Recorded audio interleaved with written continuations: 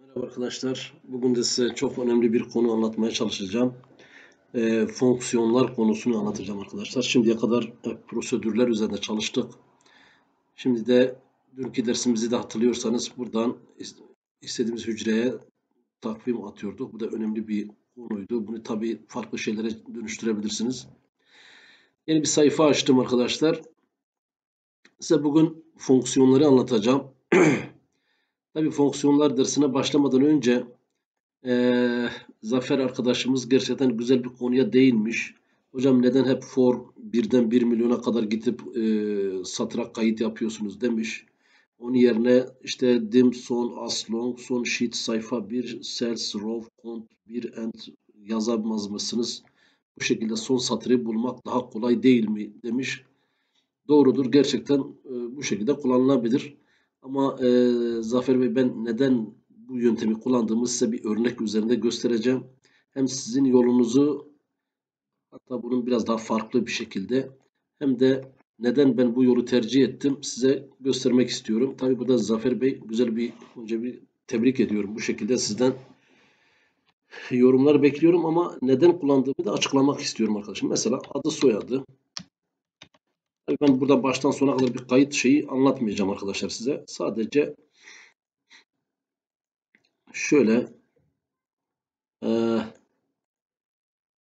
şöyle buna kaydet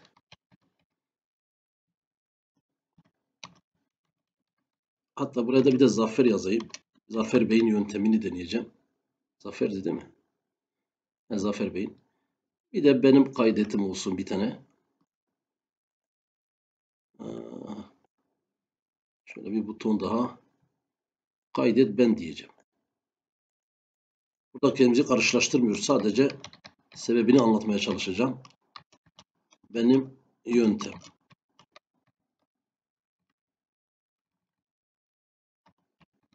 Evet.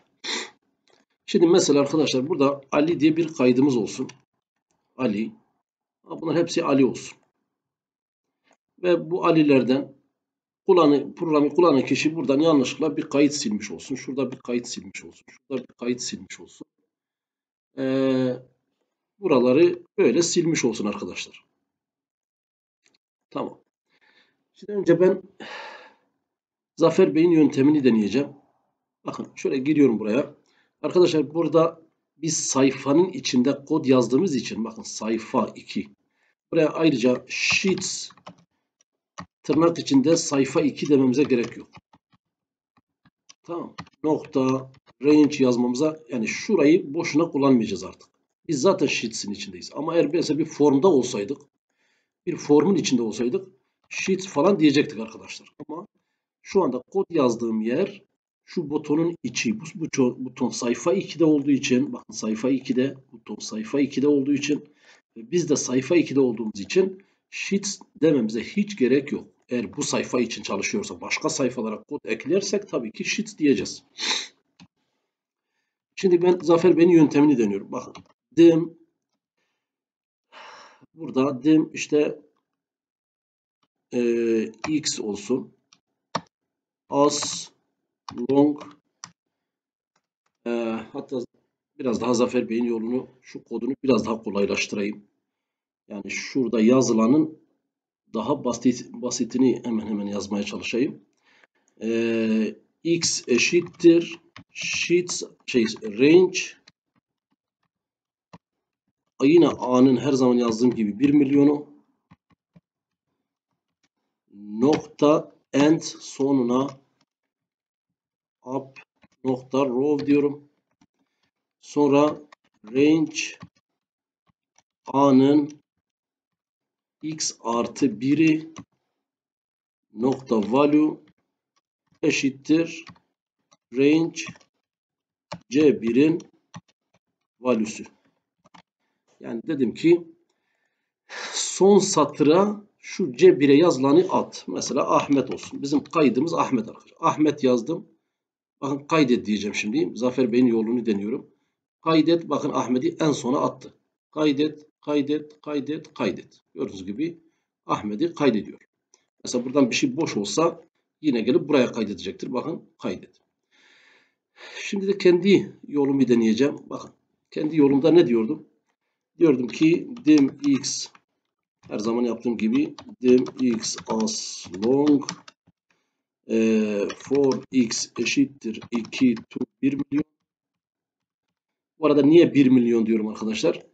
Windows e, 2000 2010'dan sonrası sanırım 1 milyon bakın 1 1 milyon 400 e, 1 milyon 4 bin birler, onlar, yüzler, binler, on binler, yüz binler, milyonlar. 1 milyon e, 4 bin 1 milyon 48 bin 576 satıra kadar geldiği için ben 1 milyon diyorum. 1 milyon da oradan geliyor bu arada. Kod yazmaya devam ediyorum. For x eşittir 2 to 1 milyon diyorum. Şuraya next yazdım. Diyorum ki eğer sheets sheets yazmıyorum. Zaten sayfadayım. Eğer range ee, ne diyordum? A'nın x'i nokta value değeri eşittir boş ise exit den exit for diyordum. Sonra aşağıya range e, a'nın x'i nokta value eşittir e, range c'nin biri nokta value. Bakın şu yukarıdakinin şu satırlarımız aynı gördüğünüz gibi hemen yani aynı mantık yazdım. Hemen şimdi kendi yolumu deniyorum. Dikkat edin arkadaşlar. Bakın benim yolumda mesela buraya Ahmet yazdığım zaman ve buralar boş ise ne yapıyor? Bakın kaydet. Bakın Ahmet'i buraya kaydet. Kaydet. Bakın şu boşluğa kaydet. Biraz daha yaklaştırayım. Kaydet diyorum. Bakın şuraya kaydetti. Kaydet. Şuraya kaydetti. Şimdi de artık en altta kaydedecek. Bakın 20'ye, 21'e, ondan sonra 22, 23'e bu şekilde kaydediyor. Yani ben onun için hiç boş kalmasın. Sürekli satır full dolu olsun. Yanlışlıkla bir yerde de boş bir satır yoksa da hiç affetmesin oralara kayıt yapsın diye ben bu yöntemi deniyorum. Eğer şu yöntemi kullanmış olsam her zaman alta kaydeder. Buralar hepsi boş bile olsa gider en alta kaydeder ve buralar hepsi boş olur. Dolayısıyla dosya aşağı doğru gereksiz yere uzamış, şişmiş olur.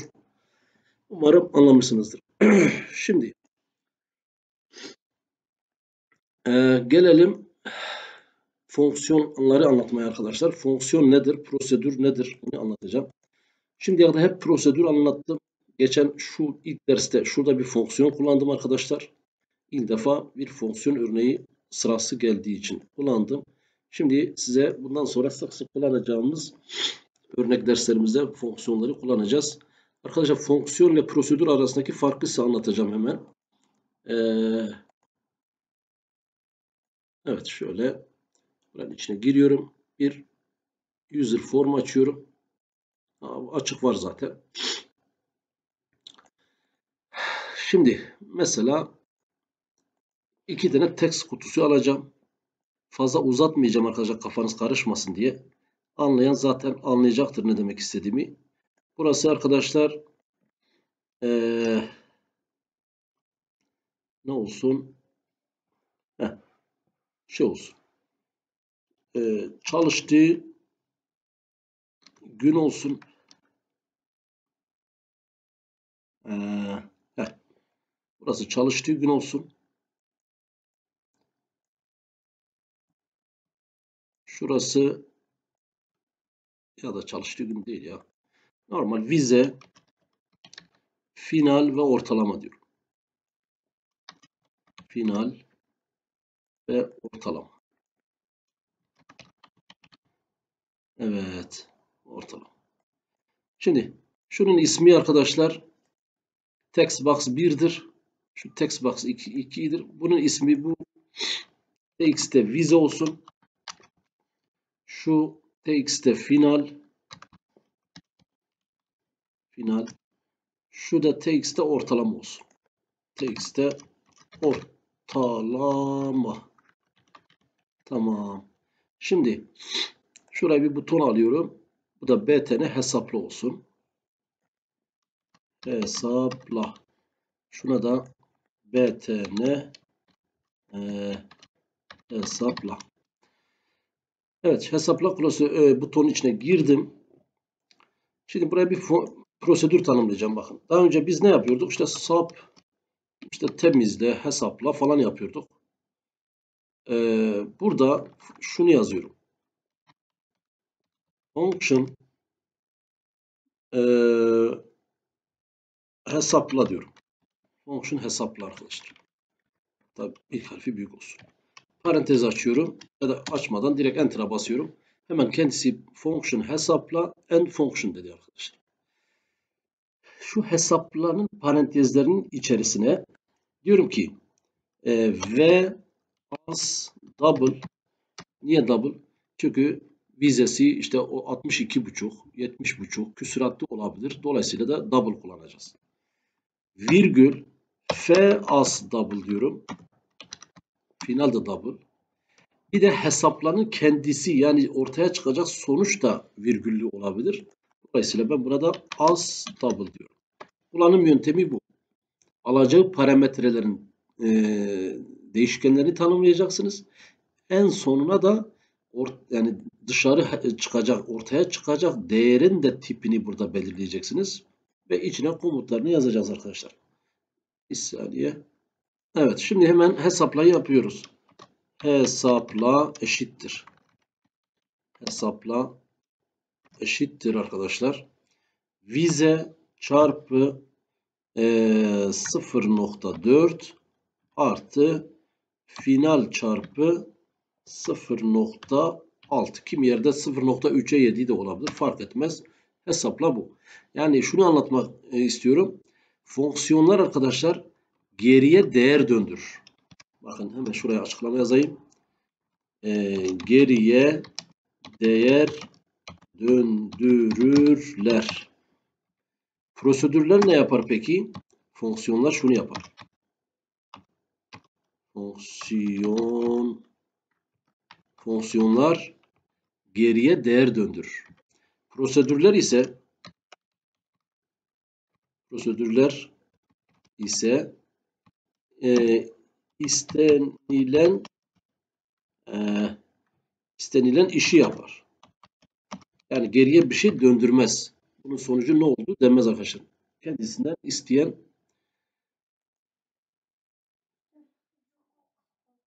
Hacer hadi git yat kızım. Hacer. Susadın mı?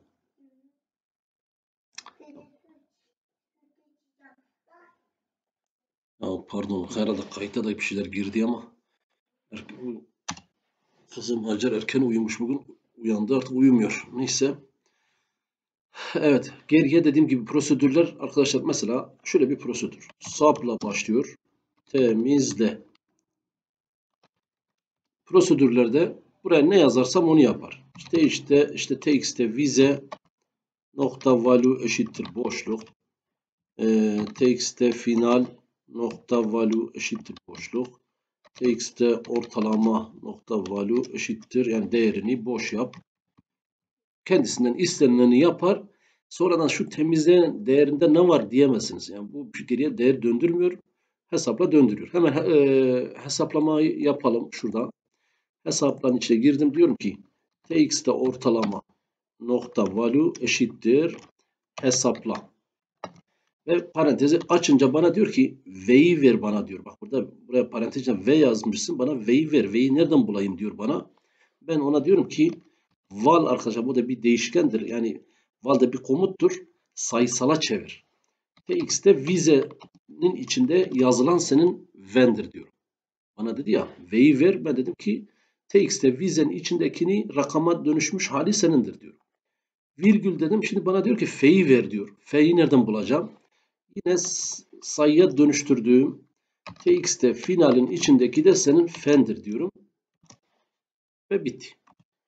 Dolayısıyla bana ortalamayı şu geriye döndürdüğü şurada hesaplama yaptı, yapacak. Geriye döndürdüğünde ortalamaya atacak arkadaşlar. Hemen çalıştıralım. Vizesi 60, finali 81 olsun.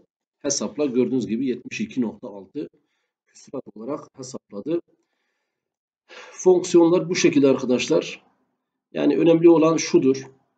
E, fonksiyonunuzun ismini yazın.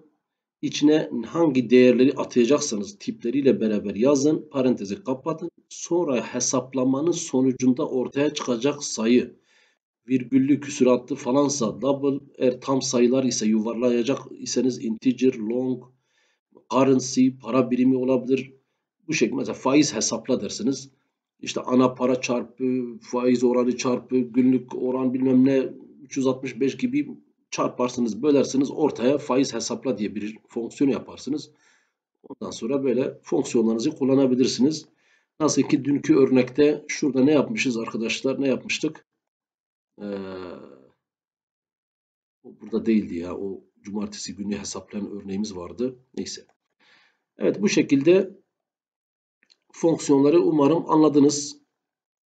Ee, fonksiyonlar arkadaşlar geriye değer döndüren e, bir nevi prosedürlerin bir benzeri ama geriye değer döndürüyor. Durum bu. Mesela şöyle bir şey yapalım. Ee, nasıl nasıl bir şey yapabiliriz?